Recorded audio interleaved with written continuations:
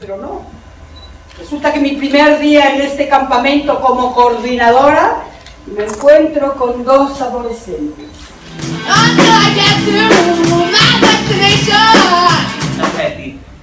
Queremos hacer algo para ser felices nosotros. Que nos guste a nosotros, ¿no? ¿No? No pretendemos nada.